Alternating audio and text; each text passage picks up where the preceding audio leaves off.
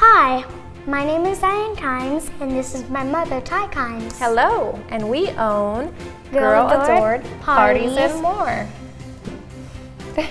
And we do have a lot of things to do. We have a snow queen, and and a snowman that's going to come on Wonderland Wednesday, January 28th. What are we and going to do? we're gonna have Wonderland games. We're gonna have food and treats That's right. Snacks, games, just a lot of fun. It's going to be and crafts. It's going to be very exciting. We're gonna have music. That's right. So we want you to come on out and have fun. Another great community event.